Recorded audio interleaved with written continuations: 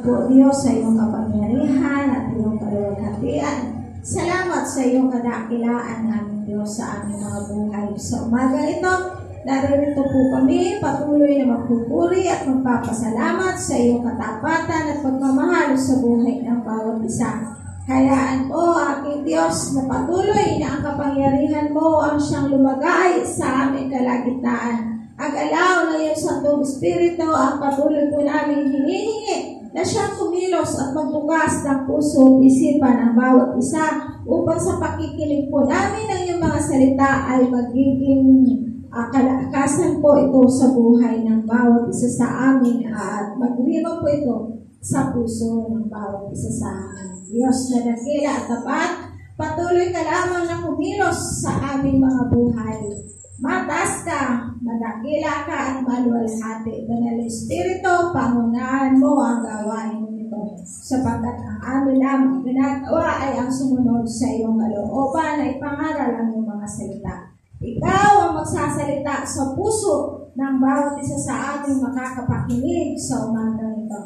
Sinasamba ka namin, pinasasalamatan ka po namin sa pangalan ni Jesus. Ito po ang aming samot na langin. Amen. Amen. Tayo po lahat ay makipagbukas sa aklat po ng Mateo. Mateo chapter 6 from verse 25.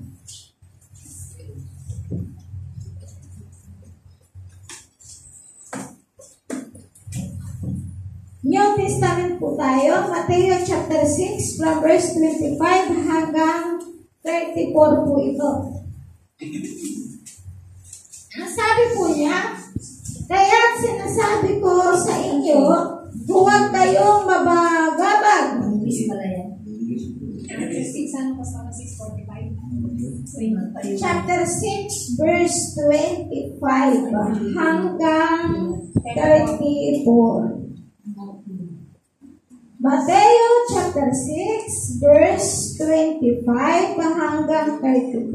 Ang sabi po nito, kaya sinasabi ko sa inyo, huwag kayong mabagabag tungkol sa pagkain at inumin na kailangan ninyo upang mabuhay o tungkol sa damit na kailangan ng inyong katawan. Hindi ba't ang buhay ay higit na mahalaga kaysa pagkain at ang katawan kaysa pananamit? Masdan ninyo ang mga ibon, hindi sila naghahasik ni nag-aani o kaya'y nagtitipon sa bangan. Gayon man, pinakakain, pinakakain sila ng inyong amang nasa langit. Hindi ba't higit kayong mahalaga kaysa mga ibon? Sino sa inyo ang makapagpapahaba ng kanyang buhay ng kahit isang oras sa pamamagitan ng kanyang pagkabalisa? At bakit kayo nababagabag tungkol sa pananamit? Isipin ninyo kung paano sumisibol ang mga bulaklak sa parang hindi sila nagpapagal ni humahabi man. Ngunit ito ang sasabihin ko sa inyo. Maging si Solomon ay hindi pagsuot ng kasing ganda ng isa sa mga bulaklak na ito. Bagamat napakariringal ang mga damit niya, kung ang mga damo sa kabukiran na buhay ngayon at kinabukas ay iginagatong sa kalan, ay dinaramtan ng Diyos. Kayo pa kaya? Kay liit ng pananalig ninyo sa Kanya. Kaya huwag kayong mabalisa tungkol sa inyong kakanin, iinumin o darampin, sapagkat ang mga bagay na ito ang kinahuhumalingan ng mga taong wala pang pananalig sa Diyos. Alam ng inyong amang nasa langit na kailangan ninyo ang lahat ng ito. Ngunit pag sumakitan ninyo ng higit sa lahat ang pagharian kayo ng Diyos at mamuhay ng ayon sa kanyang kalooban. At ipagkakaloob niya ang lahat ng kailangan ninyo. Kaya huwag ninyong ikabahala ang para sa araw ng bukas. Sa kanan ninyo harapin kapag ito'y dumating, sapagkat sapat na sa bawat araw ang kanyang mga alalahanin. Mateo, ang Mateo ang kauna-unahang book ng New Testament. Kauna-unahan po ito. At Mateo, ang Mateo chapter 6 from verse 25 hanggang 34 ay nagpapakita po ito ng huwag mabalisa. Ang pinakatema po rito ay huwag mabalisa. Subalit, ang ating pong tatapik ngayon o pag-uusapan ay ang pagsumakitan. Pagsumakitan po natin, ibig sabihin, ng pagsumakitan ay pagsikapan. Ayan. Maging masigasan ka. Ano po sa sa ayan. Mateo. So yan, verse chapter 6. Tingnan niyo po ang chapter 6 verse 25. Ayan, dyan na po. So, po tayo rito. Sapagkat ang tatalakayin po natin dito ay yung pagsumakitan, pagsumikapan. Sa, sa madaling salin, pagsumikapan ninyo. Yung sa English po, sa verse 33, Seek ye first the kingdom of God and His righteousness, and all these things shall be added unto you. Yun yun, 633 sa English translation. So, kung titingnan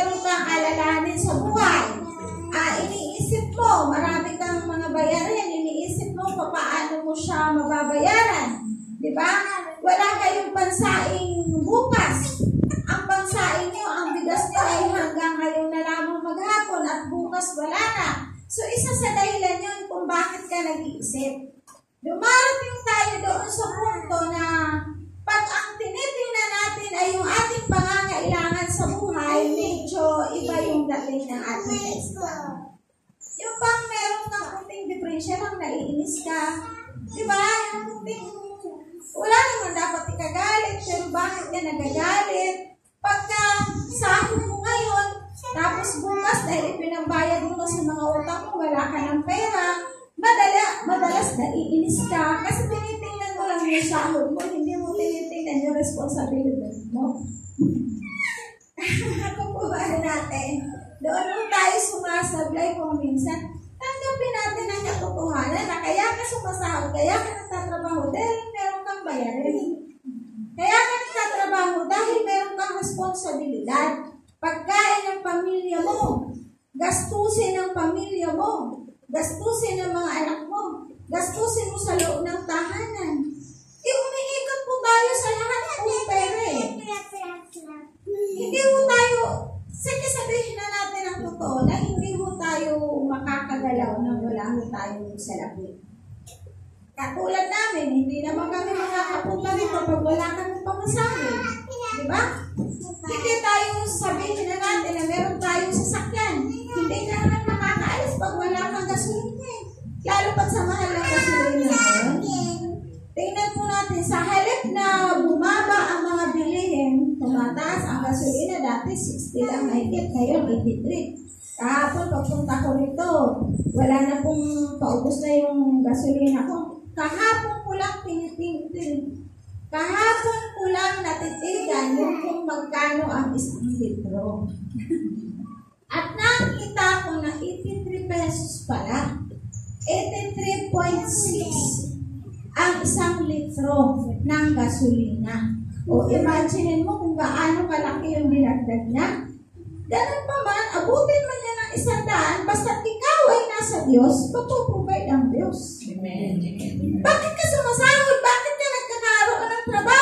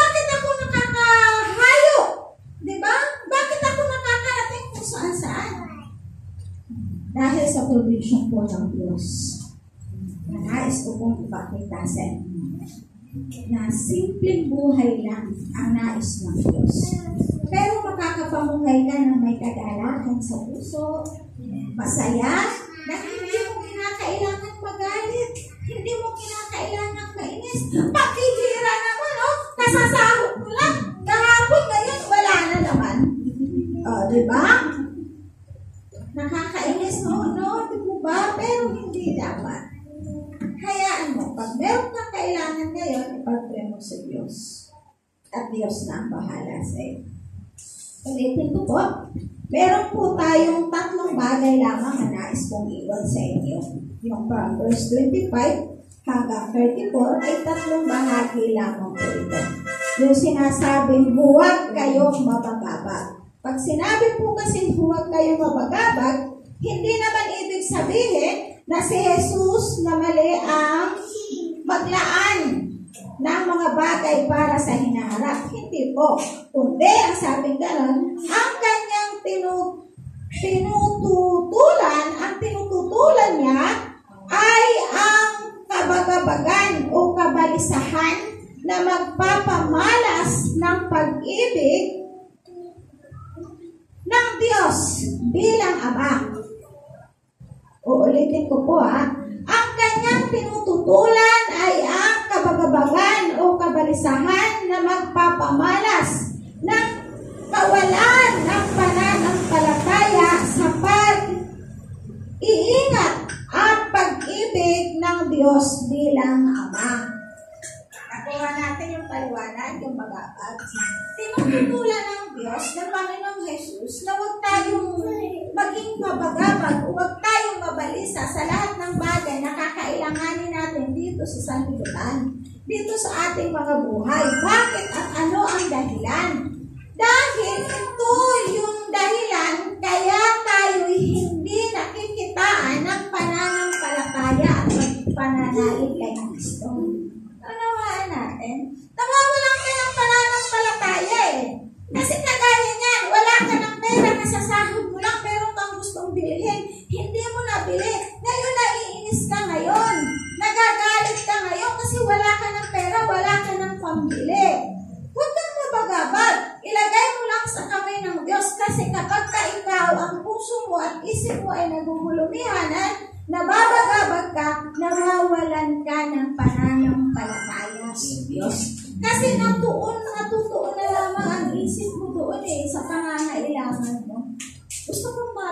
Ito, pero bakit hindi nabili?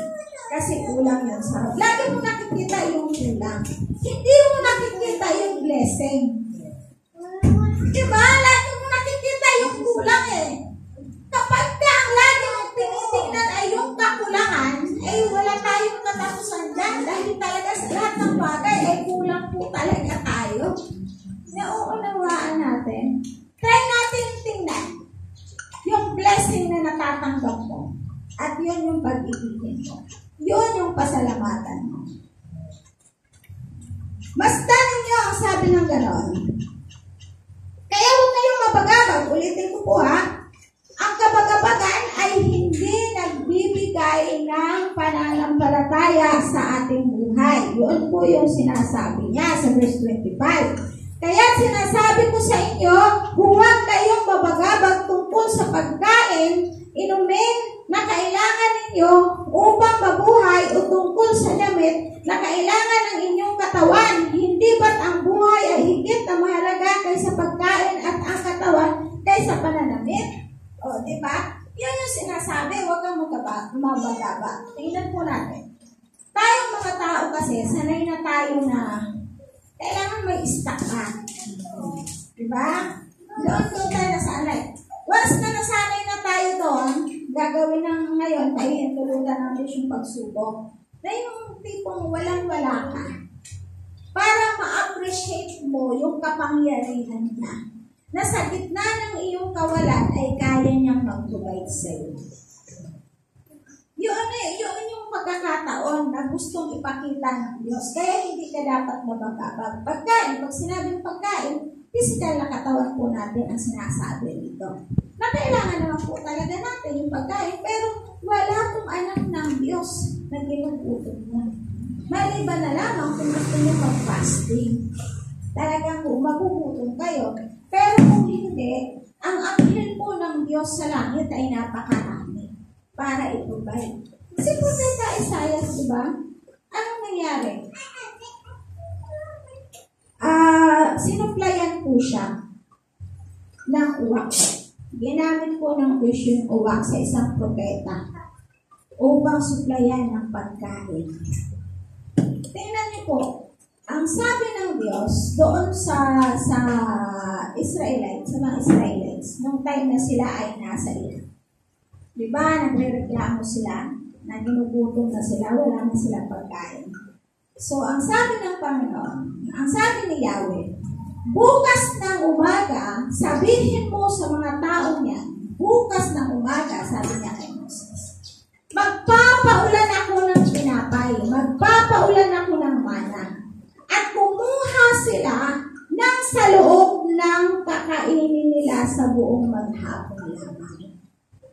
Huwag silang magtitira. Kainin nila yung para sa araw na ito at kinabukasan magbibigay na naman ako ng panibago.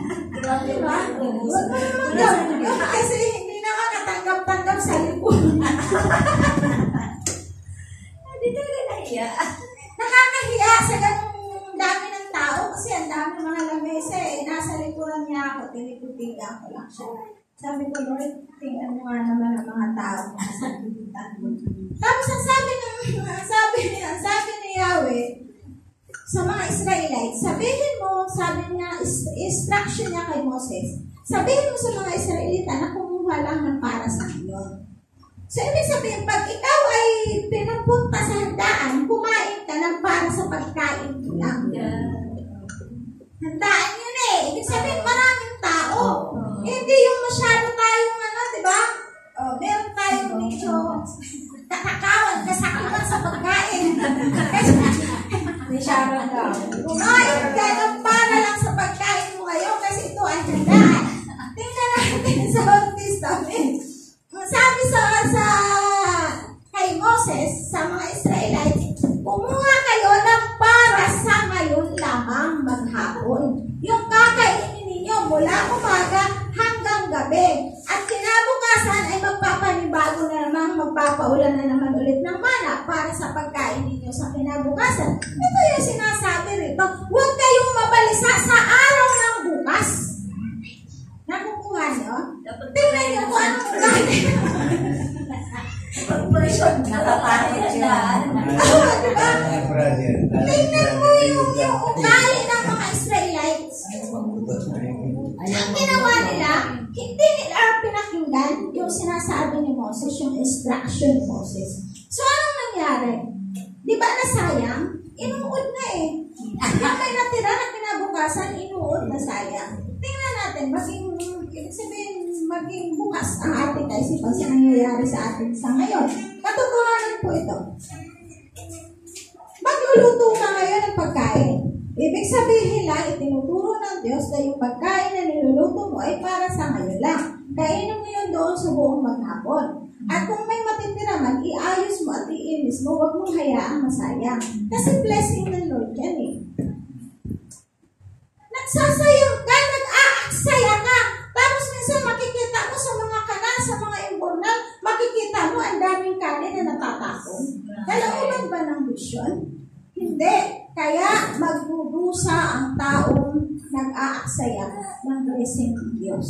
Tingnan niyo po ah. Inuod. Yung mga pagkain ng mga Israelites na kinuha nila na sobra-sobra. O inuod. Pinakita sa kanila ng Diyos na ang biyaya mula sa langit ay pag-igihin mo. Inisin mo, pahalagahan mo, sapagkat yan ay blessing ng Diyos para sa iyo. Huwag mong hayaan na yan ay uudin. Huwag mong hayaan na yan ay masira. Yun yung sinasabi. Kaya sa ngayon, gawin mo yung para sa ngayong araw lamang. At ang Diyos ang magsusupply sa lahat ng pangangailangan mo sa kinabukasan. Kaya huwag kang mababalisa. Gaano ang hayaan mo lang siya at yung utang naman ay utang lang talaga. Huwag mo masyadong isipin kasi pag inisip mo yun, ako, mababalisa ka, mawawalan ka ng pagpananampalataya, mawawalan ka ng pagtitiwala. Huwag ko sa gitna ng maraming utang, ilugin natin sa Diyos. Hindi natin sa Diyos. Lord, bigyan niyo po ako ng biyaya. Tulungan mo ako na makabayad ako sa aking mga pagkakautang. Amalayan nyo na lang, bayad na po kayo. Totoo po yun. Kasi ayaw din naman ng Diyos na makautang ka tapos hindi mo babayaran. Kailangan kung alamin yung, eh, yung kinuha mo, iba ang utang, iba ang hingi, iba ang bigay. Naunawaan natin. Pag sinabing bigay, bigay sa'yo, blessing sa'yo yun. Kasi yung nagbigay sa'yo ay pagpapalain din naman ng Diyos. Pero pagka umutang ka, sikapin mo na magbayad ka din. Sapagkat ang Diyos naman ang magbibigay sa'yo, magpo-provide sa'yo. Basta ang importante dito ay meron kang pagtitiwala sa Diyos na sa lahat ng bagay ay gagalaw ang Diyos sa mapagsimalak ka para sa buhay mo. Tingnan po natin sa 2 Corinthians chapter 12 verse 14. 2 Corinthians chapter 12 verse 14, ito ang ikatlong pagpunta ko riyan. Ngunit hindi ako makabibigat sa inyo. Kayo ang kailangan ko, hindi ang ari-arian ninyo. Ang mga magulang ang dapat mag-impok para sa mga anak at hindi ang mga anak para sa. Oy, ang liwanag. Uulitin ko po ah. Second Corinthians chapter 12 verse 14. Labing dalawa. Chapter 12 verse 14. Uulitin ko po. Second Corinthians chapter 12 verse 14. Ito ang ikatlong pagpunta ko, sabi po ni Pablo. Riyan, ngunit hindi ako makapagbibigay, makabibigat sa inyo. Kayo ang kailangan ko, hindi ang ari-arian ninyo. Ang mga magulang ang dapat mag-impok para sa mga anak at hindi ang mga anak para sa mga magulang. Kaliwanag po yung sinasabi ng Bible. Bakit sinasabi to? Tapos, pagkakasaluhat ba na ang magulang ang dapat na mag-impok? Kasi iba naman po yung, yung responsibilidad ng anak. Ibig sabihin, kapag nagpamilya ka sa ngayon, first priority mo muna ang mga anak mo. Ibig sabihin, kung meron kang kayamanan, meron kang ari-arian, iniimpok ko yun para sa kinabukasan ng anak mo. Subalit kung ikaw naman ay salat sa buhay, wala kang kayamanan, ano ang dapat mong gawin? Sabi dito sa Biblia, kasi ang dapat magulang eh. Ang gawin mo, sikapin mo na mapagtapos mo ng pag-aaral ng anak mo. Kayamanan po yan. Pag yung anak mo ay nakatapos ng kolehiyo yan, nakatapos ng pag-aaral yan, yaan yung inimpok mo sa buhay niya na kailanman ay hindi yan nananakaw.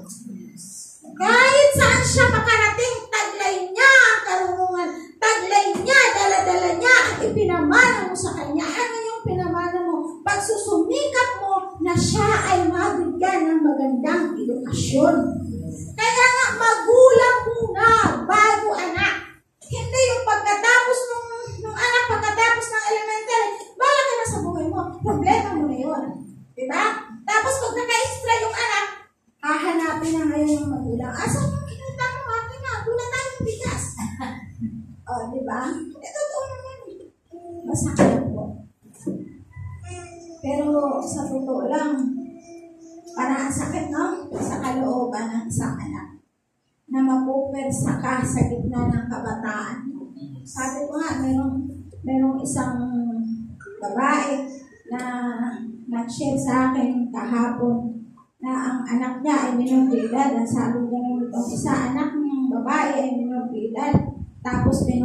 Pinumpersa sa halip na mapag-aral, mapagtapos ng pag-aaral dahil sa maraming utang yung magulang, yung anak ngayon ang pinagtatrabaho para sa pagbayan ng mga utang nila. Ang saklap, di ba? Pero asaan yung mga magulang, ang lalaki ng mga katawan, mga macho, talaga namang malalakas. Pero taliwas ang kanilang buhay sa sinasabi ng banal na kasulatan. Kaya walang blessing, walang pagpapala. Dahil ang daming utang ng mga magulang, saan dinala? Hindi nila alam kung saan dinala. Pero ang nakakaawa ang mga anak. Nais ko lang ipakita sa inyo na tayo mga magulang, kayong nanarito na wala pang mga anak, unahin muna ninyo impukan. Ano bang pag-iimpok? Hindi lang naman yung iimpukin mo ay yung kayamanan eh, na literal. Yung kayamanan, yung edukasyon na ibigay mo sa mga anak mo. Yun muna. Ako sa totoo lang, wala naman kayamanan, wala naman akong mana eh.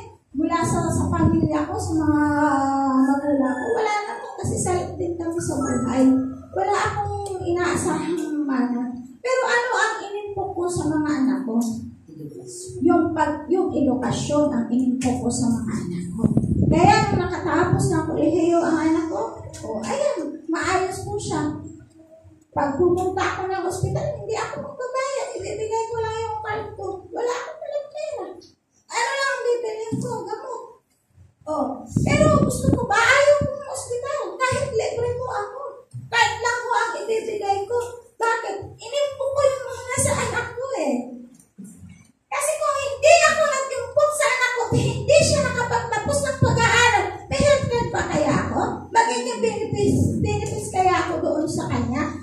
Hindi, wala. So ano nga asahan mong magulang? O, di ba? Wala kang makukuha sa anak mo. Pero nakakalungkot na pupersa ang mga anak Yes. na dapat maisip ito ng karamihan ng mga magulang. Unahin mo munang pagtapusin at pag-aralin ng mga anak. May mga, may mga kolehiyo na, na public. May mga scholarship ngayon ang bawat gobyerno, ang bawat barangay, ang municipality, ang city, mayroong mga scholarship yan. Bakit hindi natin ipasok pag sumikapan natin sa ating mga anak na maipasok yan? At ikaw namang mga anak, ikaw namang anak, magsumikap ka muna na makapag-aral ka. Huwag kang makontento sa high school na natapos mo dahil may mga vocational dyan. Kaya mong mag-college dyan. Meron mga establishmento, meron mga negosyo na tumatanggap ng mga estudyante. O, di ba? Nakakapag-aral kayo. Makatapos lang kayo ng kolehiyo. At sa tulong ng magulang, dalaw ng magulang, isa yan sa pag-iimpok ng kayamanan para sa kanyang mga anak. Kaya pagdating ng panahon, mahihirapan ka pa ba? Hindi na. Yung isa kong anak, pag nakapagbenta yan, oh, pupunta na lang sa akin yan sa bahay. Ma, nasaan ka? Dito sa bahay, punta ako dyan. Bibigay sa akin. O kumita siya. Nangihingi ba ako? Hindi ako nanghihingi. Bakit sila na ang kusang nagbibigay? Pag bumenta yung pangalawa kong anak. Oh, eh ngayon, yung puso ko, naka, ano pa, naka, nasa loob pa ng kampo. Pag lumabas, hindi ba, ibig ko ba sabihin? Nag-impok ba ako sa bangko? Wala akong inimpok dahil wala akong kayamanan. Anong sinasabi ng Biblia na mag-impok ka, magulang, mag-impok ka para sa mga anak mo? Hindi yung anak ang mag-iimpok para sa magulang. Kasi ang nangyari, nakakabaliktad na. Ang anak ngayon, iniisip na yung kinabukasan ng magulang. Di ba? Pero kaninong pagkukulang? Sino ba ang nauna? Ang anak ba o ang magulang? Magulang. Pananagutan sa Diyos yan. Yes. Sa ayaw natin sa hindi. Pananagutan sa Diyos. Ako ng panahon, yun ang naging bukas sa isipan ko, binukas ng Diyos ng kapangyarihan ng Espiritu ng Diyos ang aking kaisipan. Bakit? Alam niyo po kung bakit? Wala naman akong mana sa mga magulang ko eh. Hindi ako nakatapos ng kolehiyo. So, anong pinasukan ko? Namamasukan lang ho ako, nangangatulungan lang po ako. Gumigising ho ako ng madaling araw. Maglalaba ho ako ng lampi ng, ng batang inaalagaan ko. O paggising ng bata, wala na akong ginagawa habang natutulog yung yung bata na inaalagaan ko. Naglilinis na po ako niya ng sahig. Nagluluto na po ako ng almusal ng amo ko kasi pumapasok po sila. Pag gumising na po sila ng alas 5, alas 6 ng umaga, nakahanda na po yung, yung almusal nila. Malinis na yung bahay, nakapaglaban na po ako. Yun po ang buhay ko noon. Pero isang bagay lamang ang itinatak ng Diyos sa aking isipan na kapag ka ako'y dumating sa pagkakataon na ako'y nagkapamilya, ilalagay ko, inilagay ko sa isip ko, sa puso ko, na pagtatapusin ko ang mga anak ko kahit gaano hirap ang danasin ko. Ang katwiran ko nung araw, ikamatay ko man, makatapos lang ng ang mga anak. Pero binigay ko ng Diyos sa akin. Di ba ba? Walang maging ma-imposible ba? Wala po. Nothing is impossible. Kaya ang lahat ng salita ng Diyos, lahat ng pangako ng Diyos, binabantayan niya yan hanggang sa ito ay matupad Amén.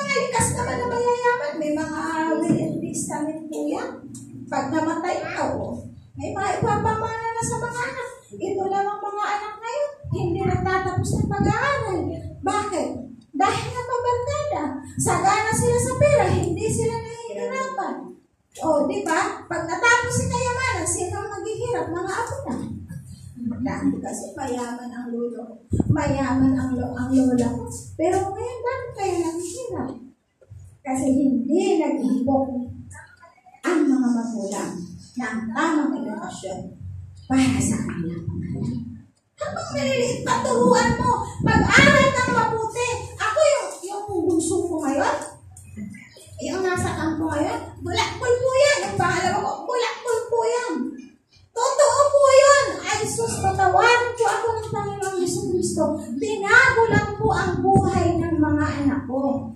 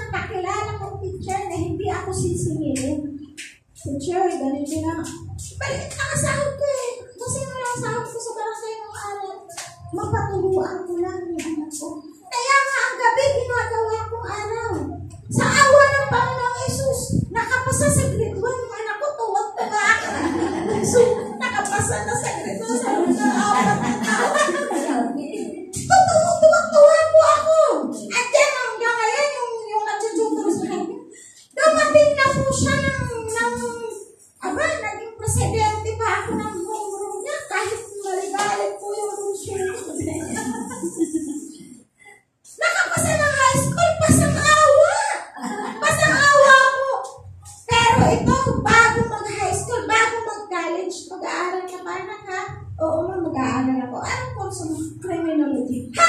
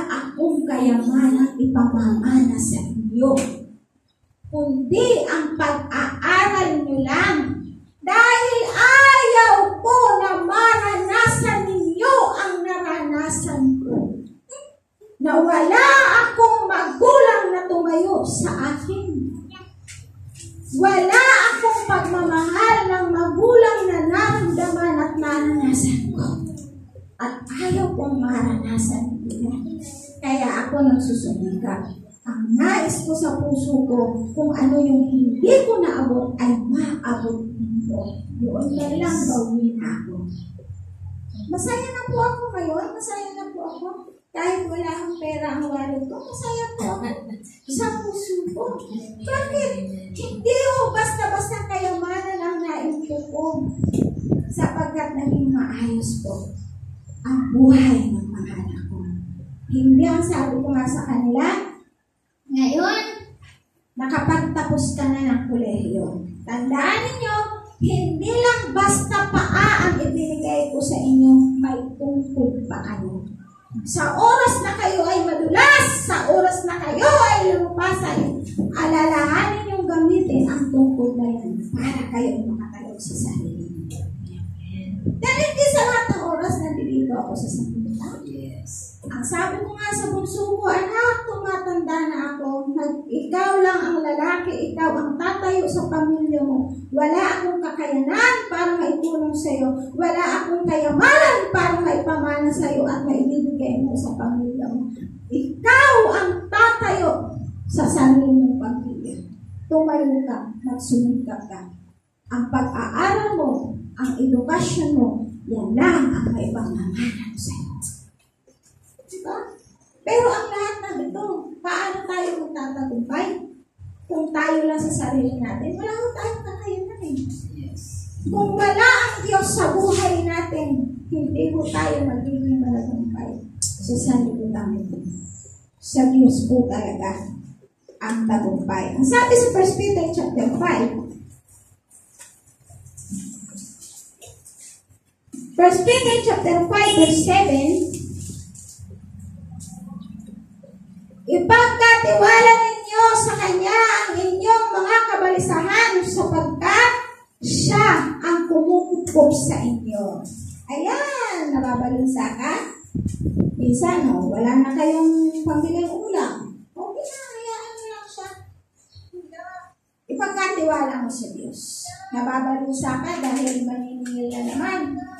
May maniningil na naman sa'yo. Ayan, pagkatiwala mo lang sa Diyos. Harapin mo lang siya ng may kahinamunan.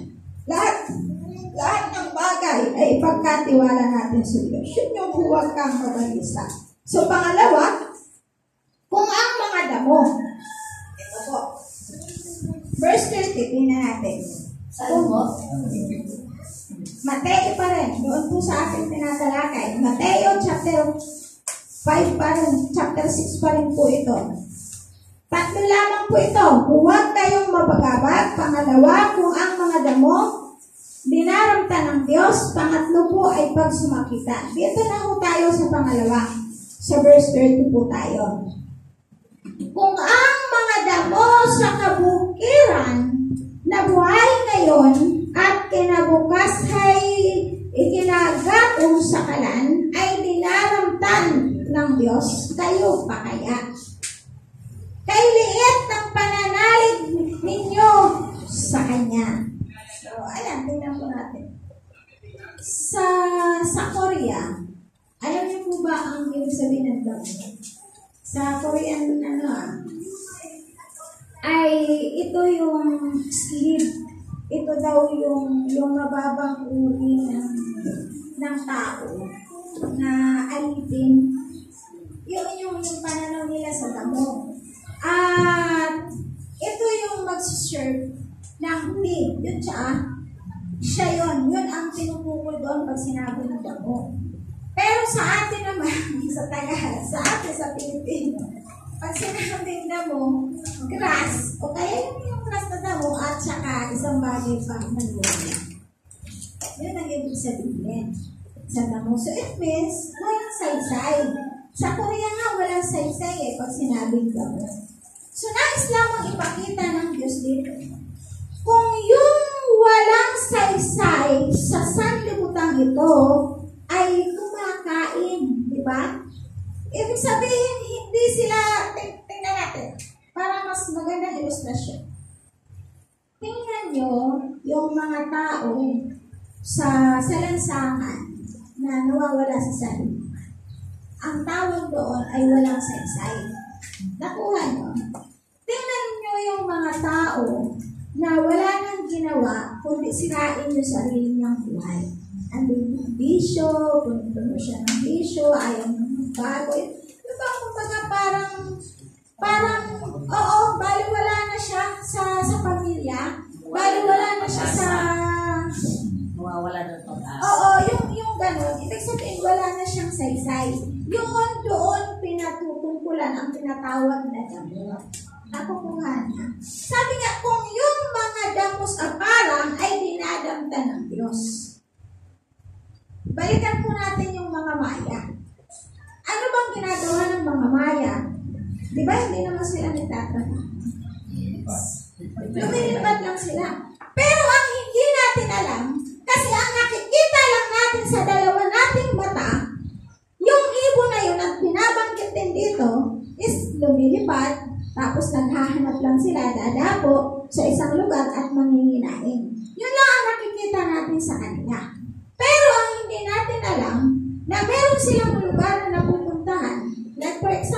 Isang punong kahoy na nakakainan nila, meron silang daladalang buto. At yung mga buto na yun ay naiiwan niya sa isang lugar. At kapag ka itong buto na to, halimbawa itong buto ay yung, yung maitim na matamis, iniwan nila kung sa itong tumutubo. At pag tumubo yun, sino nakikita ba? Tao. Diba? Ibig sabihin, wala namang kabuluhan sa mundo Mahalaga ka sa harapan ng Diyos. Pararamdaman ka ng Diyos. Gagawin pa rin ng Diyos ang pagmamahal niya para sa iyo. Dahil mahalaga ka eh. Yes. Samahan natin.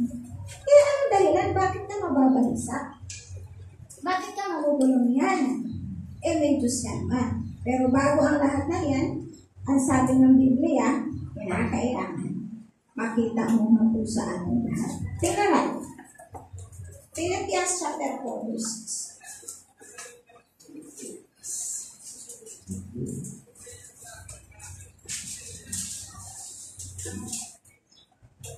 Verse 6. Huwag kayong mabalisa tungkol sa anumang bagay. Sa halip ay hingin ninyo sa Diyos ang lahat ng inyong kailangan sa pamamagitan ng panalangin may pasasalamat. So, diba? Maliwanag. Philippians chapter 4 verse 6. Huwag mabalisa sa lahat ng bagay.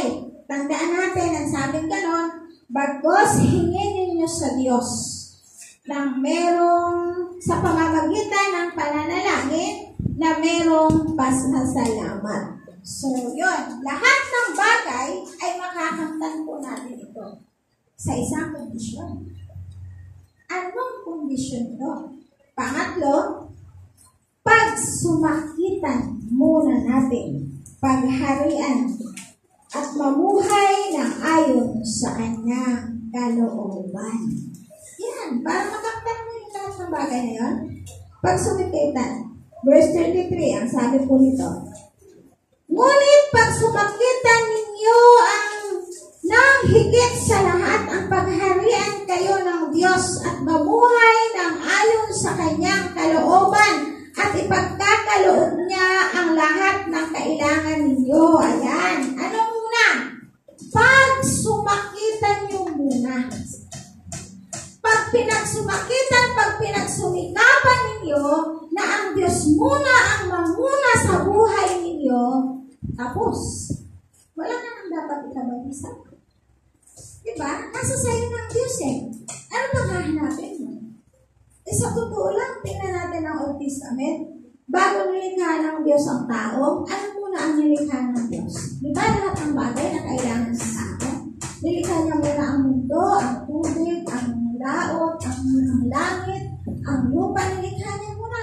Lahat ng mga damo, nilikha niya. Lahat ng mga punong kahoy na kakailanganin natin, panggamot, pagkain, nilikha muna yan. Lahat ng mga hayop na yun, yung kinakain natin, lahat yan, nilikha muna ng Diyos. At ang bandang huli, anong nilikha niya? Ang tao. So bakit? Sa dami dahilan, ba't mo na mo na lahat? Gusto lamang po ipakita ng Diyos na ikaw ay nilagay sa kanyang hari, sa kanyang halamanan. Kapag ka ikaw ay nasa kanya na, wala ka nang kakailangan. Nandiyan eh. So, ano na lang ang gagawin mo? Sa ngayon, magsumikap ka na lamang na pagharian ng Diyos ang buhay mo. Yun na lang. Seek ye first, sabi sa English, seek ye first the kingdom of God and see His righteousness. And all, pag sinabing all, maging damit mo man yan, maging pagkain mo man yan, tuition fee mo man yan, pambayad sa utang man yan, lahat ng bayarin, kayang bayaran ng Diyos. Bakit inuuna mo siya?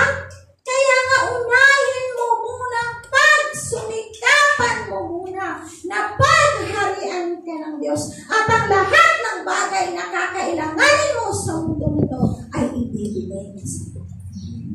Wala na tayong mahanapin. Ito na eh. Ando na lahat. Ang may pagkukulang lamang tayo. Ang Diyos. Binigay na niya, yun lang ang tanging hiling niya sa buhay ng bawat isa sa atin. Pag sumikapan muna natin na yung Diyos na yun ay mamuhay sa ating mga buhay. Mamuhay tayo na naaayon sa kanyang kalooban at lahat ng bagay. Kahit ano yan, pagpaganda, ibibigay sa Diyos sa iyo yan. Lahat ng sakit mo sa buong katawan, ibibigay ng Diyos yan.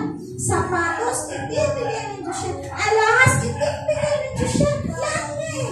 All exo, lahat ng bagay. Kaya wala namang sinasabi doon na ang ibibigay ko lang sa iyo, faith na kwentas. o, di ba? Wala namang sinabi na lang, ibibigay ko lang sa iyo eh, yung fake na singsing o ng. Wala eh. At wala namang sinabi doon na ang ibibigay ko lang sa iyo ay yung mga mumurahing damit. O, minsan nga, di ba, kahit wala tayo sa abroad, pero ang nabibili mo, mga branded. Yan mo ang halaga. Eh siya nga eh, pag pumunta ng, ng yan, ang, 3,000, 2 plus, minsan pinabili pa yung jacket na 3,000. Oh, bakit hindi binibigay ng Diyos? Kasi sabi, sinabi mo muna, paghahayaan ka muna ng Diyos. Kaya kahit normal lang ang buhay mo, isang ordinaryong buhay ka lang, kaya mo nag-abutin yan. Bakit? Yes. Pangako nandun sa'yo yan eh. Unahin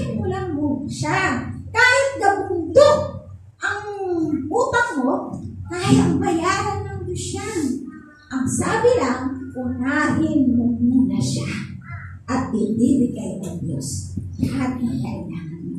Tandaan, pag sinabing all, lahat, walang pipiliin. Kahit pagkain mo, kahit damit mo, lahat ng bagay, ibibigay sa iyo ng Diyos. Basta, unahin muna natin siya. Sikapin na mamuhay tayo ng naaayon sa kanyang kalooban. At hindi ako, bukas ng umaga, pag-isip mo ay wala ka ng Diba? Bukas ng umaga, pag-isip mo, yung aandap-andap na kuryente na bayarin mo, nabayaran. O, diba? Basta mo ka lang mabalisa, pagkatiwala mo lang sa Diyos. Bukas ng umaga, yung hinihingi mo sa Diyos, ibibigay na niya sa iyo. Bakit? Inuna mo siya eh. Bigyan mo ng kabulan ang salita ng Diyos. Bigyan mo ng kapangyarihan. Bigyan mo ng bigyan mo ng pagkakataon na ang salita ng Diyos ay kumilo sa buhay. Sikapin mo na makita sa buhay mo ang salita ng Diyos. Magkaroon ng magrima, magbunga, makita yung galaw ng, ng kapangyarihan ng Diyos yung, yung sa buhay natin yung salita. Tinupi ako po sa inyo. Wala na po tayong hahanap. Lahat po tayo ay Dakila ka, O Diyos. Salamat, Ama, sa kapangyarihan mo. Salamat po, Diyos, sa iyong mga salita sa umagang ito. Salamat na binigyan mo po kami ng pag-asa, malaking pag-asa po sa aming mga buhay, aking Diyos, na ikaw ay naririyan na patuloy na nangangako sa buhay ng bawat isa sa amin, na isusupply mo po sa amin ang lahat ng aming mga pangangailangan. Ang bawat isang naririto sa umagang ito ay may kanya-kanya pong sitwasyon, may kanya-kanya pong suliranin, may kanya-kanya pong dalahin. Subalit ikaw ang Diyos ang nakakaalam. Kaya sa isang araw, aking Ama, gagawa ka po ng himala sa kanilang mga buhay. Ang mga salita mo na kanilang napakinggan, hayaan mo po na magbunga po ito at patuloy na makita sa kanilang mga buhay. At sa mga oras na ito, hayaan mo lamang aking Diyos na ang kapangyarihan mo ang siyang patuloy na hindi po lumukob sa puso at buhay ng bawat isang naririto. At upang sa mga susunod pang linggo, Lord God, ay patuloy pa rin kami magkasama-sama na pupurihin ka, sasambahin ka, at patuloy pong itataas namin ang dakilang pangalan. Salamat po sa iyo, God. Sa pangalan ni Jesus, ito po ang aming sakot dalangin. Amen. Amen. Nakita na